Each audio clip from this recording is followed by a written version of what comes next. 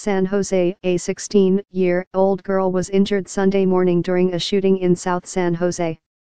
San Jose police responded to a call of a person shot at 1.48 a.m. in the 200 block of Bendorf Drive according to Sergeant Enrique Garcia. When officers arrived at the scene, near Blossom Hill and Monterey Roads, they found the girl suffering from at least one gunshot wound. The teen was transferred to a hospital. Her injuries are not life-threatening, Garcia said.